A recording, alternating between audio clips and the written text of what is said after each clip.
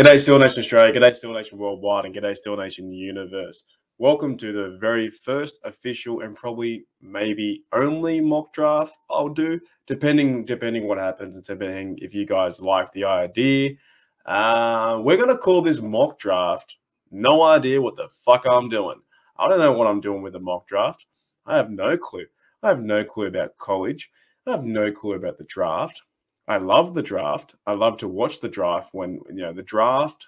I've got three special days: the draft, NFL kickoff, and Super Bowl. My three favorite days. But I'll be honest, I don't know anything about the players. I know a little bit. I know like you know some na- some names might come up. I know a little bit, but we're really just going to draft on position. And what we might do is look at the players after the draft. So I might, you know, choose a few of them and bring up their stats and dive into that player and talk about them after the draft. Let's see. Okay, so for the exercise today, what I want to do is invite you guys to to watch along. Uh, I'm going to go on to, I think I'm using, what am I using? Uh, NFL mock draft database.com, their, their draft simulator. So hopefully this is YouTube friendly. And we're going to bring them up and me down the bottom. So I'm going to put me down the bottom here, right? And we're going to choose our team, uh, the Pittsburgh Steelers. That's our team. That's the best team in the world. Uh, keep everything the same. I think that's all the same. Far, normal, far, seven rounds. Uh, that will do. And we're going to start it. And we're just going to just pick by position. I do know what this team needs via position. So this could be quite fun, or this could be, you know, uh, absolutely nothing. Let's find out. Let's see what can happen. So I think I'm starting the draft now. Um, Jaguars pick Evan O'Neill, whoever that bloke is. We'll go back and look at the first few, the top 10, or look at the first few uh, picks because they're always interesting. I do know some of those names. So as we're going down the list here, uh, we're coming up to 20. And the Eagles have so many picks too. So I'm on the clock. I don't know how much time I have. I'm actually going to put my, I'm putting my timer on for this. I'm going to do this in about 10 minutes. All right. So 10 minutes to do the whole draft, and then we'll, we'll talk about it at the end. But let's see who we picked or who's picked. Uh, Jaguars going to help the, help out uh, Trevor Lawrence with uh, Evan Neal. Uh, Aidan Hutchinson goes to the Lions. That's kind of predicted too. I've heard some stories about Aidan Hutchinson going to the Lions too. He's a big fella. He's kind of like a relentless TJ Watt as well. Uh, Kyle Hamilton's a good safety. He goes to the Giants. They need some help with safety. Uh, Kenny Pickett goes to the Broncos right? So maybe the Broncos don't believe in Drew Lock. That would be very interesting too. Uh, the Commanders take Burks. Uh, anyone else that stands out that I see? I don't really know. Tyler Linderbaum goes to the Ravens. Um, he's been a name too. Linderbaum has been a name that's been mentioned. Um, do the Steelers trade up to get Linderbaum? Do the Steelers pick up Linderbaum if he's available at number twenty? Because I don't know. I don't think I don't think Steelers will trade up. To be honest, uh, going down the list, we have Matt Corral is one of our first or second quarterback on the on the list. So we're here at 20. And I, I think I already know who I want. There's been there's been speculation around do the Pittsburgh Steelers pick up a quarterback?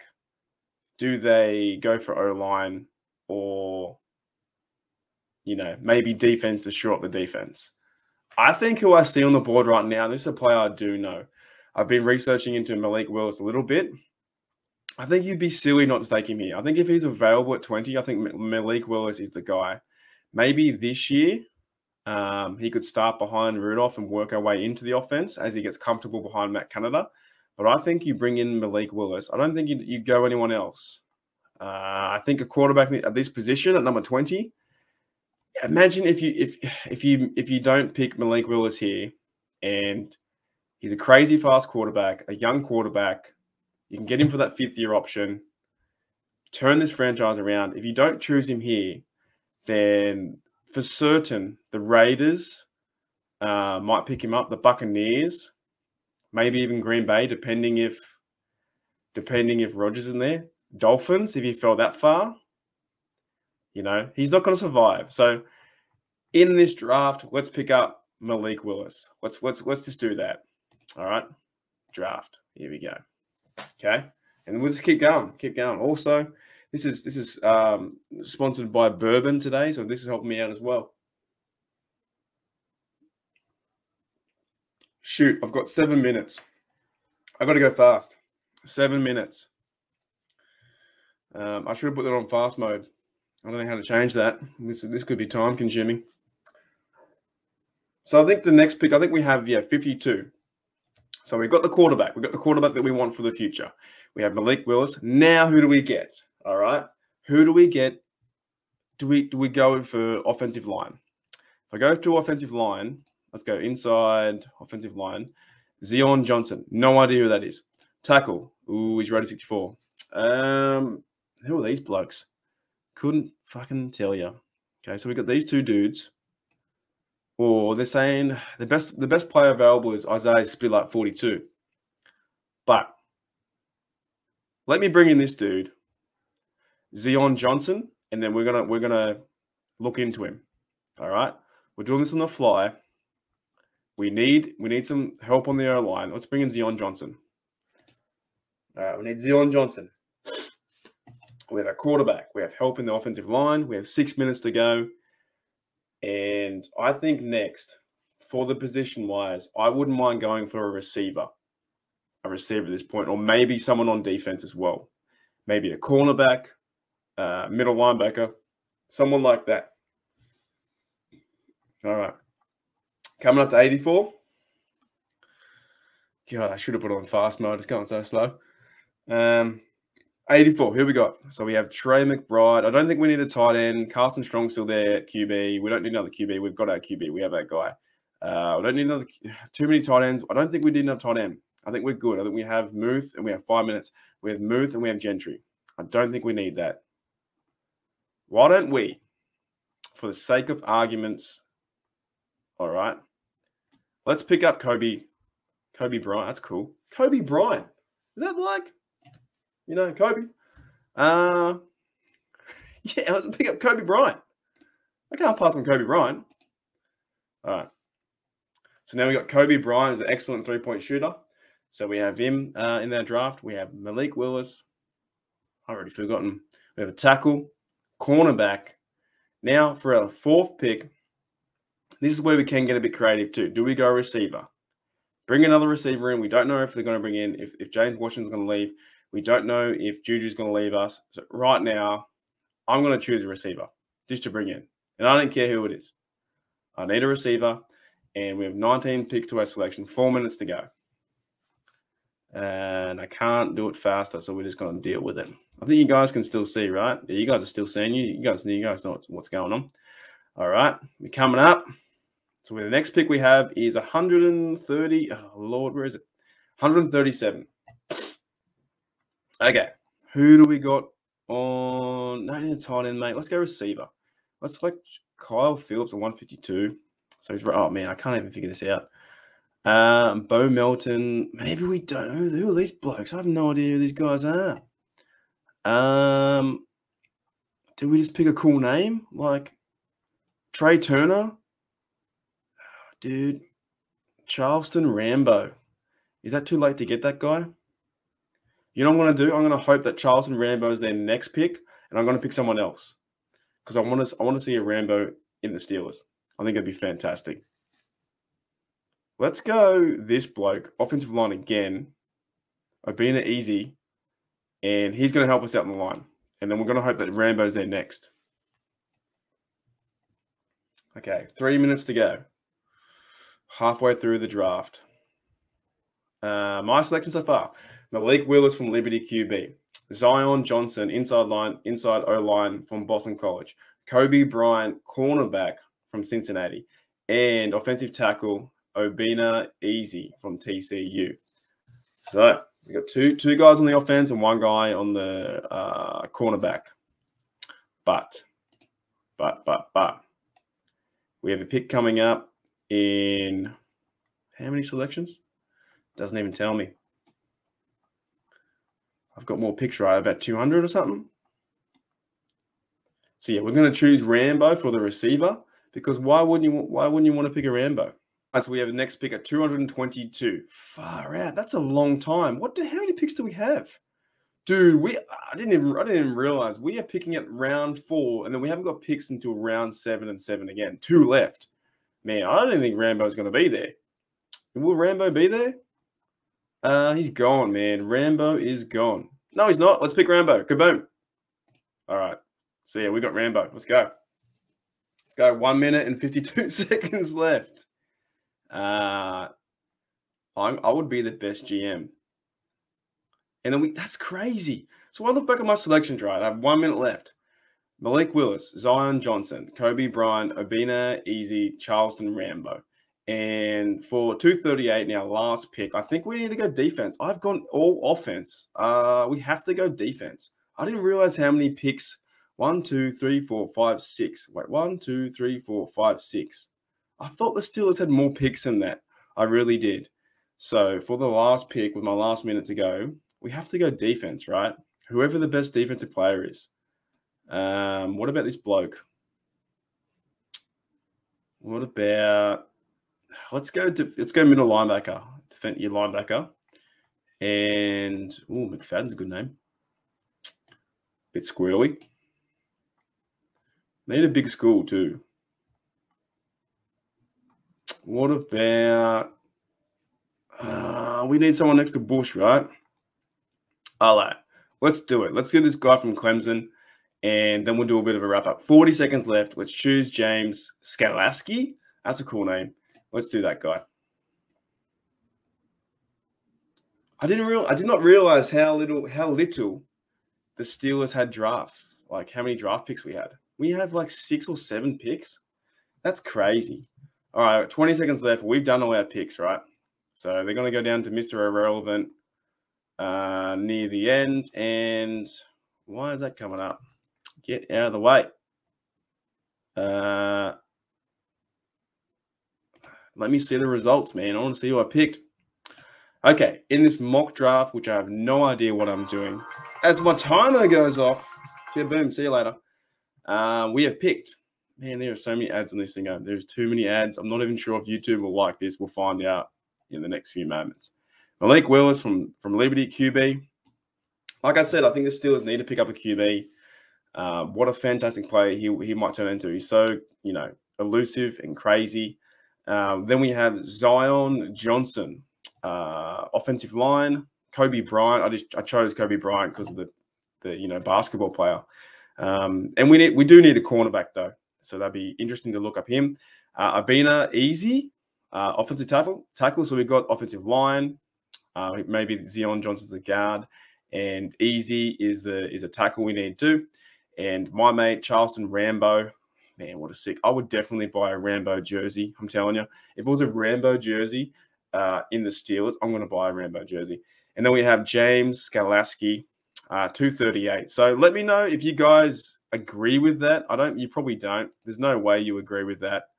Um, Malik Willis, Zion Johnson, uh, Kobe Bryant, Abini, Obinna Easy, Charleston Rambo receiver, and defensive wise, James Skalaski. Also, I think we have more picks than that. I feel like we have one more, but like that's like one, two, three, four, five, six, right? I, I swear we have more than that. Um, what I might do is bring up some images in the next few moments of this video and talk about these picks because I don't I don't know who these players are. I have no idea. so let's let's figure out who these players are.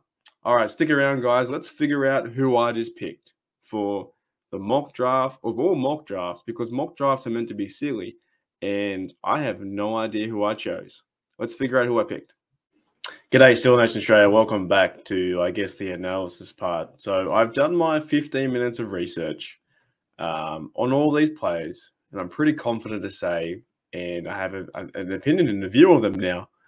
So let me work through them and give you a quick analysis of what I think of these players. All right, to the best of my ability. Uh, firstly, look, the one player I do know, um, if the Steelers draft a guy like Malik Willis, who is could be a fantastic quarterback in the future, Trey Lance kind of style, Michael Vick kind of bloke, action uh, Jackson, Lamar Jackson, he can move around the pocket. Um, Malik Willis, from the highlights I've seen and some of the articles I've read about him, if he's there at 20, I think the Steelers have to go and get a guy like that. Now, you could also, during free agency, you might bring someone in, uh, another veteran quarterback.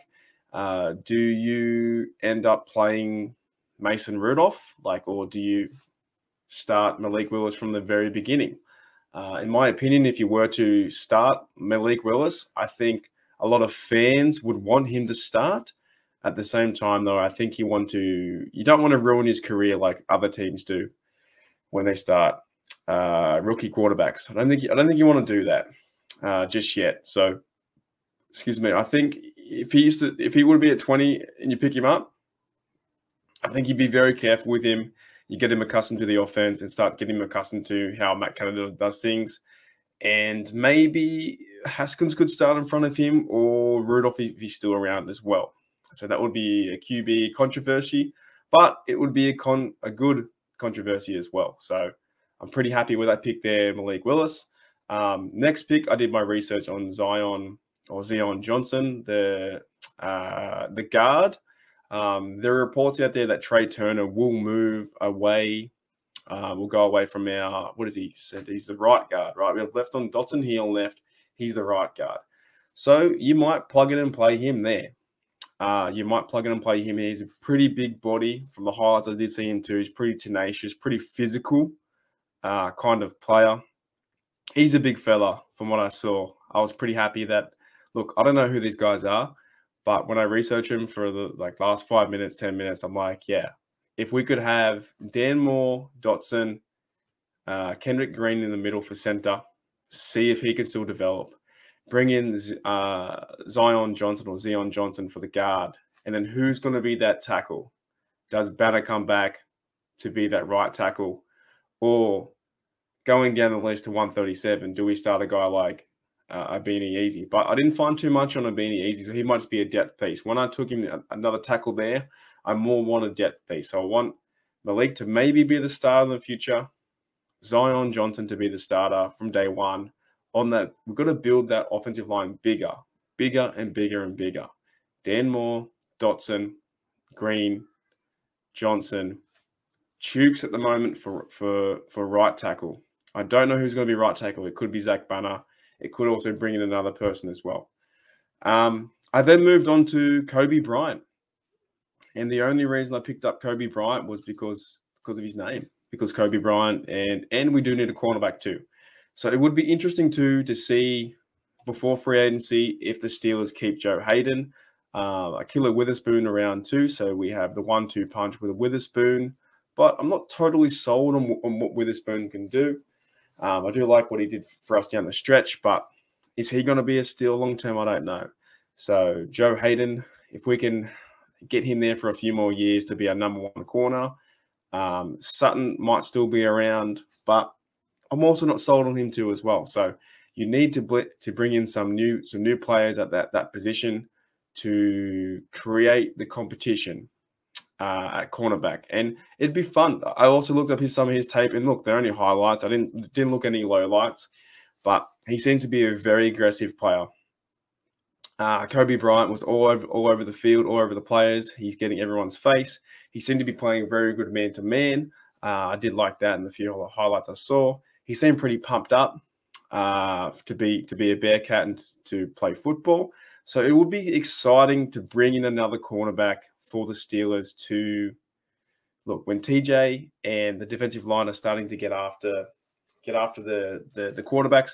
You need on the back end some really good coverage. So if Haden stays, and then we have players returning like Sutton, or we have Sutton on that deal, and if Kobe Bryant was that draft pick, a young a rookie guy, and wasn't needed the way that we had to use Tre Norwood last year. Tre Norwood was used so much. He had moments where he stood out, and then Tre Norwood had absolute blunders where he couldn't do anything. So I like that. Looking it up and let me know what you think. I like that Kobe Bryant pick there at cornerback. Uh, moving down the list, we now have two two picks left. I also looked up the guy. The only reason why I chose Charleston Rambo was because if this guy goes off a seventh rounder, Rambo, and if he makes the team, right, the reports out there that you know James Washington might leave this team, so he's like the third or fourth receiver. Um, if this would be the dreams, the, the, the guess the dream scenario. If Juju stays, Diontae's still there, Claypool's still there. That's a core three receivers, right? And looking at the highlights for Charleston Rambo, he's a very was a very uh, uh, a smaller player, but he kind of reminded me. Look, not not full on, but for what I saw was like a bit like Tyreek Hill. Now in this offense with Matt Canada, if we can use him like they use Tyreek Hill, we have a chance. We have a big chance. If we can use a guy like maybe Rambo gets a few reps, right? And if we still, I think Ray Ray might even be a free agent too. Uh, don't quote me on that. Actually, don't quote me on a lot of things. You know, I'm just trying, just, trying my best. Um, if Rambo came in and was the fourth receiver or fifth receiver, and he made the squad, right? So we had Juju, Claypool, and Diontae, and possibility of having Rudolph there with Najee and Muth and Gentry. Then you could use a guy in this system like how that Canada wants them to use motion, play action, uh, screens, you know, bubble of screens that hopefully work. Like a lot of these things weren't working last year, um, but just just get the guy, get this, get the team involved, get all the players involved. So Rambo was pretty fun. If you want to look him up, look up his highlights. Rambo from Miami, Florida. Uh, looked at his tape. It's quite fun. Like some of his highlights were, he's pretty physical, but he's a smaller guy. He's not the tallest receiver, but he probably um, would remind me like a Diontae Johnson. But Diontae Johnson has really good hands, route running ability. You know, Rambo, he kind of looks, he does look like a like a Ray Ray, right? He's that four fifth guy. So if he made it, that'd be fantastic. Um, lastly, I looked up James Galaski. Now I chose him just because of the name. Half these players I chose him because of the name, right? Now it would be funny if I get any of these right.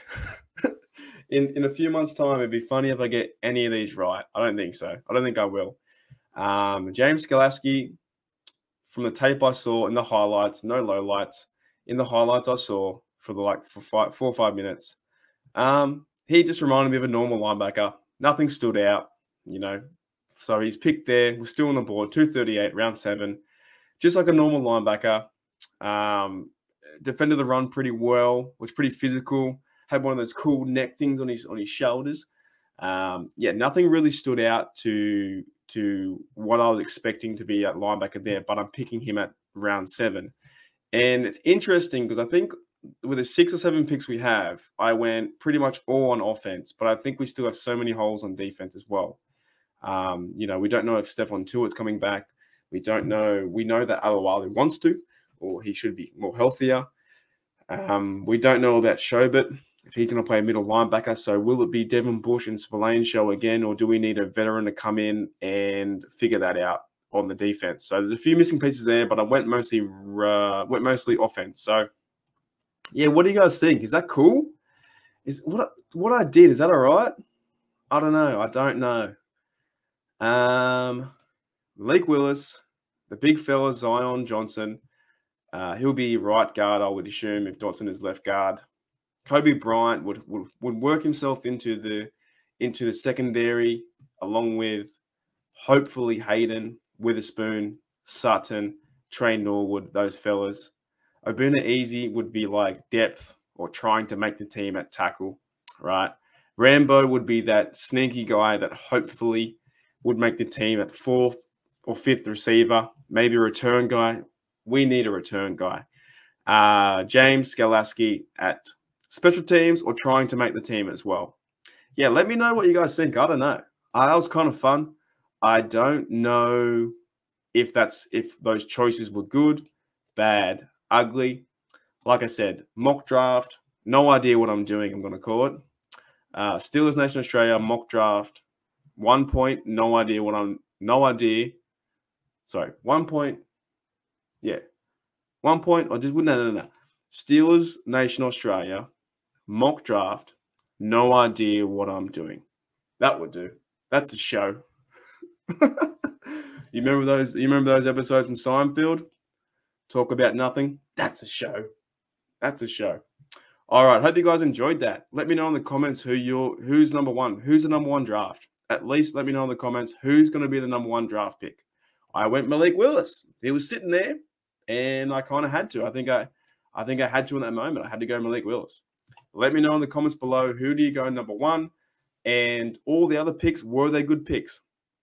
It was pretty fun to research them, by the way. It was really fun to research them. So, yeah, as always, uh, what are we now? at almost 10 p.m. at night, and I'm going to upload it straight away.